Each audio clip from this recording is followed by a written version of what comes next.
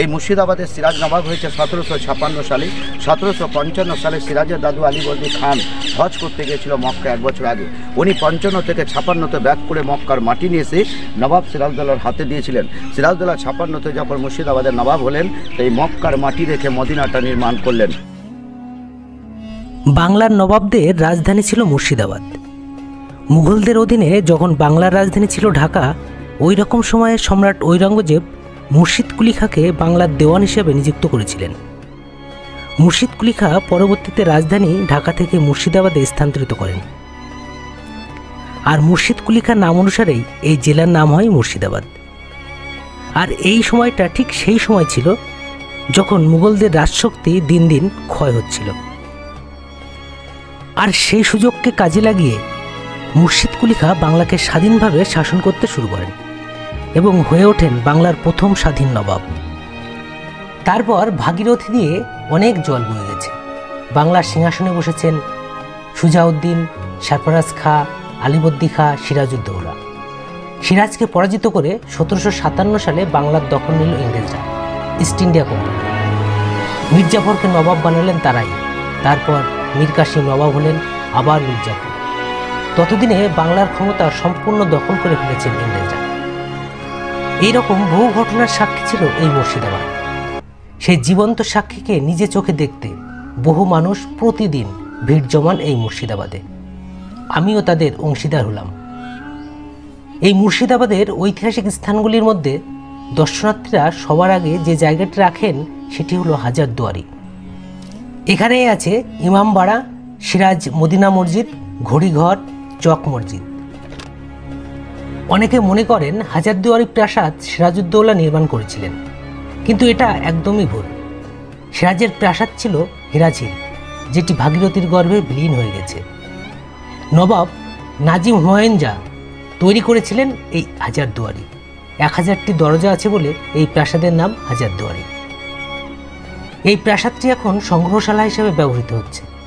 বাংলার নবাব ব্রিটিশদের ব্যবহৃত জিনিসপত্র যেমন আসবাবপত্র, তখনকার বাসনপত্র, বিখ্যাত শিল্পীদের আঁকা অয়েল প্রিন্টিং নবমী আমলের বই, সোনা দিয়ে মোড়ানো কোরআন শরীফ, রয়েছে দু হাজারের বেশি অস্ত্র সম্ভার।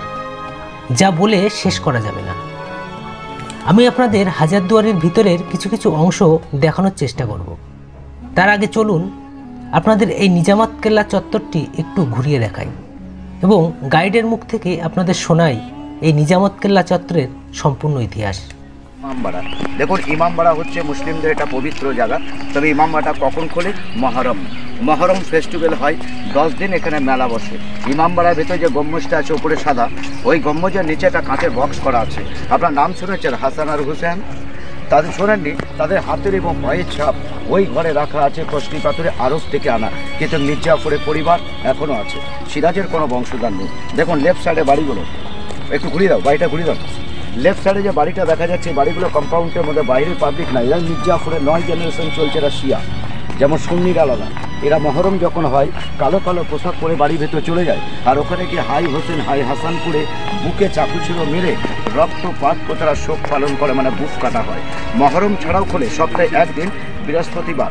বৃহস্পতিবার সকাল ছটায় খোলে আর সন্ধ্যা ছটায় কিন্তু বাড়ি বন্ধ হয়। তাতে হিন্দু, মুসলমান, খ্রিস্টান, জৈন সবাই ওই বাড়িতে যেতে পারে, তবে ধূপকাঠি আর মোমবাতি নিয়ে তাছাড়া গভর্নমেন্ট কিন্তু এমনি কাউকে এলাও করে না, কেন এখন দিয়েছে ওখানে সিকিউরিটি গার্ড বাড়িটাকে তৈরি করল কে? মির্জাফরের শিখ জেনারেশন এই বাড়ির মালিকের নাম হচ্ছে নবাব নাজিম ফিরাতুন, যা নবাব ফিরাতুন যা যখন ইমামবাড়া তৈরি করায়, তৈরি করতে সময় বেশি লাগে না করে বোর্ড দিয়ে আছে যে ছয় থেকে সাত মাসের মধ্যে পুরো বিল্ডিংটা তৈরি হয়। আঠেরোশো সাতচল্লিশ সালে ছয় লাখ স্বর্ণ মুদ্রা খরচ করে মানে গোল্ড। সামনে দেখুন একটা লম্বা কামান দেখা যাচ্ছে মদিনা দেখে ঘুরি দিকে একটু জুম করে টেনে নাও। তো সামনে যে দেখা যাচ্ছে কালো কামানটা মদিনার কাছে নাম অদ্ভুত, যেটা ইতিহাসে নামটা বড় করে লিখে দিয়েছে এখন বাচ্চা বাচ্চাওয়ালি কামান। দেখুন বাচ্চাওয়ালির পেছনে কারণ আছে।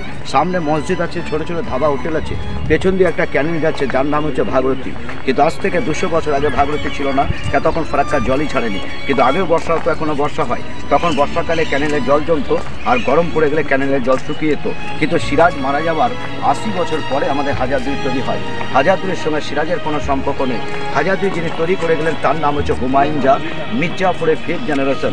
হুমায়ুন জা বললেন এত বড় দরবার তৈরি করতে হলে যত বালি লাগবে, ক্যানেল থেকে কাটো। তখন কিন্তু লাল বালি আর সিমেন্টের আবিষ্কার হয়নি। তখন সাদা বালি আর চুন সুরকি যে রাস্তা দিয়ে আমরা হাঁটছি। এবার বালি কাটতে কাটতে দেখছে বালির তলায় চার ফুট নিচে বড় কামানটা পড়ে আছে।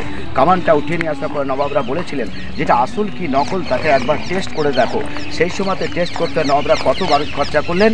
আঠেরো সের বারুদ। আঠেরো সের আঠেরো কেজি না, কেজি পরে এসছে সের আগে এসছে। তো আঠেরো সের বারুদকে মুখ দিয়ে গেঁদে গেঁদে ভরে সের পাটির পেছে গোলা করে মুখকে জাম করে পেছন থেকে আগুন দিয়ে দিলেন। এই কামানটা দূরত্বটা হয় চার কিলোমিটার দূরে গিয়ে গোলাটা পড়ে। চার কিলোমিটারের যে আশেপাশে গ্রামগঞ্জে যে পাঁচ মাসে, ছ মাসে যে গর্ভবতী মারা ছিলেন, তাদের আওয়াজে গর্ভপাত হয়ে যায়। শোনা যায় যে আগুন দিয়েছিলেন, উনিও এখানে হাত ফেল করে মারা যায়। নবাবরা ভয় পেয়ে গেলেন আর একে পেছন থেকে সিল করে এর নামটা দিয়ে গেলেন বাচ্চা বলি কামান। কারণ আওয়াজে সব বাচ্চা মারা যায়। আপনার সামনে আছে ছোট্ট একটা মদিনা ঘর। আপনারা পুরো মুর্শিদাবাদ ঘুরলে সিরাজের দুটো নিদর্শন পাবেন। ভাগরতীর ওই পারে গেলে পাবেন ঘোষবাগ, যেখানে সিরাজের সমাধি দিয়ে আছে। আর এই গোলঘরটার নাম হচ্ছে সিরাজ মদিনা। একটু দাঁড়াবেন সিরাজদোলার মায়ের নাম ছিল আমিনা বেগম। সিরাজের বাবার নাম হচ্ছে জাইনতের মোহাম্মদ দাদু হচ্ছে আলিবর্দি খান। এই মুর্শিদাবাদের সিরাজ নবাব হয়েছে সতেরোশো ছাপান্ন সালে। সতেরোশো পঞ্চান্ন সালে সিরাজের দাদু আলিবর্দি খান হজ করতে গিয়েছিল মক্কা এক বছর আগে। উনি পঞ্চান্ন থেকে ছাপান্নতে ব্যাক করে মক্কার মাটি নিয়ে এসে নবাব সিরাজদৌলার হাতে দিয়েছিলেন। সিরাজদৌল্লা ছাপান্নতে যখন মুর্শিদাবাদের নবাব হলেন এই মক্কার মাটি রেখে মদিনাটা নির্মাণ করলেন। আর ঘরটার নাম দিয়ে গেলেন সিরাজ মদিনা। তাহলে ছাপান্নতে নবাব হয়, আর সাতান্নতে হয় পলাশির যুদ্ধ। এবার একটু রাইটে নেন, একটু একটু এগিয়ে রাইটে দেখুন একটা ঘড়ি আছে, ঘড়িটার নাম হচ্ছে ক্লক টাওয়ার ঘড়িঘর। নবাবী পিরিয়ডে সবাই ঘড়ি ব্যবহার করতো না, খুব কস্টলি ছিল। চেনওয়ালা পকেট ঘড়ি, নবাব রাজা জমিদাররাই ব্যবহার করতেন। কিন্তু হাজারদুইতে অ্যাকচুয়ালি কোড বললাম, তাহলে এখানে যারা সাধারণ লোক, তারা ডিউটিতে আসবে কি করে? কারণ নবাবের কাছে তো পকেটওয়ালা ঘড়ি আছে, দেখবে, চলে আসবে। তার জন্য কী করলেন? সাদা বিল্ডিংয়ের মালিকের নাম বললাম নবাব ফিরাজুঞ্জা উনি আঠেরোশো বাহাত্তর সালে ইংল্যান্ডে চারটে ঘড়ি আনালেন। এনে বললেন, চারদিকে চারটে ঘড়ি লাগাও, যাতে ঘড়িটার টাইম দেখে কর্মচারীরা সাড়ে দশটার সময় ডিউটিতে চলে আসে। তবে ঘড়ি ছিল চারখানা, দেখছেন তিনখানা নেই, চুরি হয়ে গেছে। সামনে একটা ঘড়ি আছে, কিন্তু অচল। ঘড়িটার সিস্টেম ছিল বছরে দুবার দম দিত, দম মানে চাবি দেওয়া তো সারা বছর কিন্তু ঘড়িটা চলতো। কিন্তু এখন কিন্তু মেশিনটা নেই। তবে ডাইল একটা কাটা আছে, তাও অচল। কারণ দাদা, এখন নবাবই নেই। পেছনে ঘুরে দেখুন, একটা লেফট সাইডে ছোট্ট কামান আছে, আর একটা রাইটে আছে, দেখুন সিঙ্গোর কাছে। দুই পাশে দুটো কামান। এগুলো কোনো যুদ্ধ করার কামান না। আমাদের বাংলা, বিহার উড়িষ্যার রাজধানী মুর্শিদাবাদ শহর ছিল কলকাতা না। এখন কলকাতা হয়েছে রাজধানী। বুঝতে পেরেছেন? তখনকার মুর্শিদাবাদ রাজধানী। তো এটা অ্যাকচুয়ালি হচ্ছে দরবার। এই দরবারে কর্ণবাবুর তো হুমায়ুন যা মির্জাফরের ফিফথ জেনারেশন উনি যখন দরবারে যেতেন জজ হয়ে বিচার করতে, তো লেফট আর রাইট দুই দিককার কামানকে উপর দিকে মুখ করে ছেড়ে নবাবকে সম্মান জানাতেন। এই কামান দুটোর নাম সালামি তোপ, যাকে বলা অভিনন্দন দিয়া। এবার আমরা যে সিঁড়িটা দিয়ে উপরে যাব সিঁড়িটা ধাপ হচ্ছে থার্টি সিক্স তবে এই বাড়িটা হাজারদুরি হাজারদুরি সিরাজ মারা যাবার, এটা ক্যামেরাটা কিন্তু সামনেটাকে ঘোরাবার।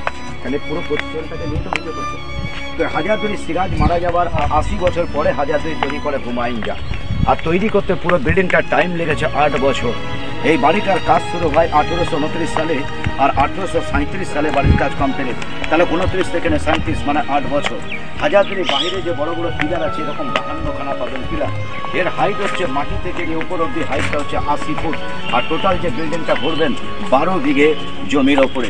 এই বাড়িটার পেছনে নবাবের টাকা খরচা হচ্ছে সেই সময় ষোলো লাখ পঞ্চাশ হাজার স্বর্ণ এই বলুন মসজিদটা বাংলায় বলে সবাই হলুদ হ্যাঁ? উর্দুতে যারা হিন্দিতে পিলা ইংলিশে এলো, জিনিস একটা নাম চারটে দিয়েছে, তবে মসজিদে কোন নামাজ পড়তেন হুমায়ুন যা মির্জাফরের ফিফথ জেনারেশন কারণ আমাদের এখানে দুই রকমের আজান হয়। একটা বারোটা কুড়িতে আজান হয়, একটা বারোটা তিরিশ। বারোটা কুড়িতে যে আজান হয়, এটা শিয়াদের। আর বারোটা তিরিশে যেটা আজান হয়, এটা সুন্নিদের। তো বারোটা কুড়িতে যখন আজান পড়তো, তো হুমায়ুন যা দরবার থেকে বেরিয়ে গিয়ে পাশের মসজিদে নামাজ পড়তেন। কারণ ওটা ওনার এটা পার্সোনাল মসজিদ ছিল। তবে দেখুন, আজ তো হুমায়ুন যা নেই। তবে তাদের জেনারেশন যারা আছে, তারা এখনও কিন্তু আজান দেয়, তারা এখানে নামাজ পড়ে।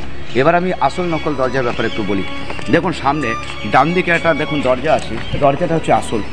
আর বাঁ দরজাটা কিন্তু নকল। তাহলে আসল আর নকল মিলিয়ে টোটাল তো বারো বিঘে জমিতে বাড়িটা ঘুরবেন। তো ঘরের ভেতরে গিয়ে দেখতে পাবেন এক হাজারটা দরজা। তার মধ্যে নশো পাবেন কাঠের তৈরি করা আর একশো পাবেন চোন সর্দি দেখুন, নশো আর একশো মিলিয়ে এক হাজার। তো বাড়িটার নামটা তো হাজার দুয়ারি। তো এটা দিয়ে কারণটা কি?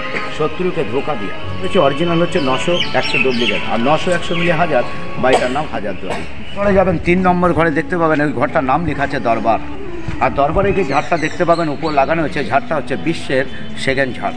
ওই ঝাড়টাকে দিয়েছিল মহারানী ভিত্ত দর্শক দরবারে দরবার শুনতে এসছে, তো এই দর্শকের মধ্যে কেউ না কেউ আমার দুশ্মন থাকতে পারে।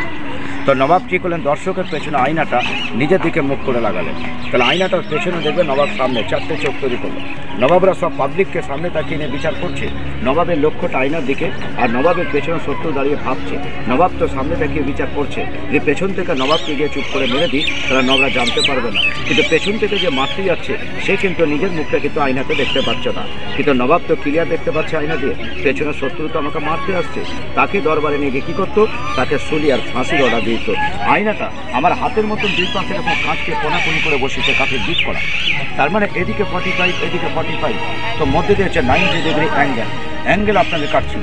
আপনারা মাথায় হাত দিলে হাত দেখতে পাবেন চুল টালে চুল দেখতে পাবেন বডি কিন্তু মুখ কোথায় নিয়ে যাবেন? কারণ সেই যুগের অ্যাকচুয়ালি হচ্ছে এটাই এটাই হচ্ছে সিসি ক্যামেরা আয়না তোরা সিসি ক্যামেরা আবিষ্কার করে দেবে এই জন্য তো বডি মাথা চুল দেখা যায় মুখ দেখা যায় না। এই ক্যামেরাতে পরে এলো আবিষ্কার হয়ে ওদের দেখেও আমরা করছি আমাদের ওরা কিছু করে না। তাহলে লেফট সাইডে একতলা লেফট সাইড দোতলা। রাইটে দোতলাটা পুরো ভাগে বেরাবার সময় ঝাড়বাতি সিংহাসন কর্মী হাতি দাঁতের মডেল দেখে নিয়ে তখন এক্সিট একটা মসজিদ তোমাদেরকে বুঝিয়ে দিই যেটা ঐতিহাসিক মসজিদ। সবাইকে আমরা বলি না একটু আপনি কথা। বলে। দিই আর হিস্ট্রিটাও জেনে নেন এখানে দাঁড়িয়ে যাও। দেখো আমাকে দেখতে পাচ্ছ? আবার আবার ঘুরতে হবে? তো তোমরা মসজিদটা আগে দেখে নাও। দেখো গেটের বাইরে একটা গম্বুজ দেখা যাচ্ছে সাদা মসজিদটা। ওই এদিকে না নারকেল তলা সোজা ওই যে। দেখা যাচ্ছে? এবার আমি বলছি বলো এই মসজিদটার নাম হচ্ছে চাঁদনি চক। আর যে এলাকায় ঘুরছেন, এটার নাম হচ্ছে চক বাজার। ওই চাঁদনি চক মসজিদে বছরে দুটো করে মেলা বসতো দাদা নবীকামে ঈদ আর বকরিদের মেলা। ঈদের মেলাটার নাম হচ্ছে মিনা বাজার। বাইরে যত রূপসুন্দরী মেয়েরা থাকতো, তাদেরকে ঈদের মেলাতে নিয়ে গিয়ে বিক্রি করা হতো। সেখানে কোনো পুরুষ যাবে না, ওটা মহিলাদের মেলা। মহিলাকে মহিলারা পছন্দ করে কিনবে। তাহলে সিরাজের বেগমের নাম লুৎফা নেশা বেগম। উনি এক পাঞ্জাবি ঘরের মেয়ে নাম রাজকুমারী। সিরাজের দিদিমা সারপনেসা বেগম আলিবর্দের স্ত্রী এই মিনা বাজার থেকে সুন্দরী একটা বাচ্চা মেয়েকে নিয়ে গেলেন বাড়িতে। সে যখন বড় হবে, তো বাড়ির দাসী বানিয়ে দেওয়া হবে। কিন্তু তার এত সুন্দর রূপ ছিল যে সিরাজ দ্বারা বাড়ির দাসীকেই ভালোবাসলেন। তার সঙ্গে তার দিদিমা বিয়ে দিলেন আর নাম দিল লুৎফা নেশা। বেগম। তার সমাধি কোথায় আছে? খোঁজবাগে ভাগীরথীর ওই পারে গেলে খোঁজবাগের সিরাজের পায়ের কাছে আছে সমাধি দেওয়া লুৎফা তাহলে এটা হচ্ছে ঈদ মিনা বাজার দ্বিতীয় মেলা হয় মুসলিমদের বকরিদ। যেটা বকরিদ বুঝলেন তো? যে ছাগল কাটে। তো সেটার নাম ছিল ফ্যান্সি মার্কেট, যেটা এখনও কলকাতায় খিদুরপুরে আছে। তাহলে ফ্যান্সি মার্কেটে ঢেলে আগে বিক্রি হতো হীরা মুক্ত চুনি। দাদা, আজও মেলা বসে আমরা যাই, কিন্তু এখন আর হীরা মুক্ত না। এখন ওই জায়গায় গেলে বাদাম ভাজা এবং ফুচকা পাওয়া যায়। এই চাঁদনি চক মসজিদ ভারতের চারটে। প্রথম হচ্ছে লখনৌ দ্বিতীয় দিল্লি তৃতীয় কলকাতা লাস্ট মুর্শিদাবাদ চক বাজার বুঝতে পেরেছেন? এই চারটে আছে ভারতে বাকি আর কোনো জায়গা নেই। এবার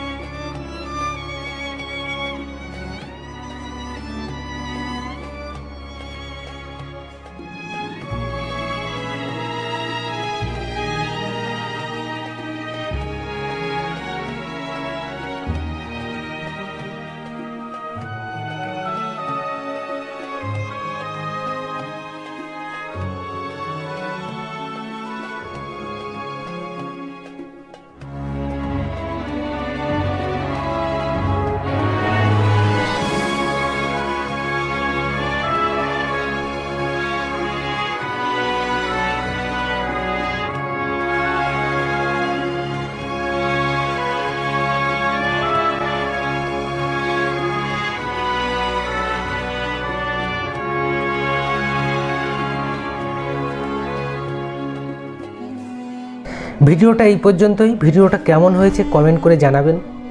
আবার দেখা হবে পরের পর্বে। তত সময় সবাই সুস্থ থাকবেন, ভালো থাকবেন।